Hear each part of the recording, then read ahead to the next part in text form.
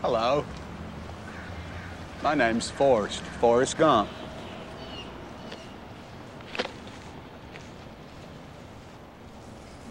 Do you want a chocolate?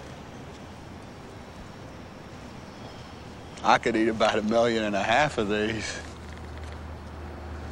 My mom always said life was like a box of chocolates.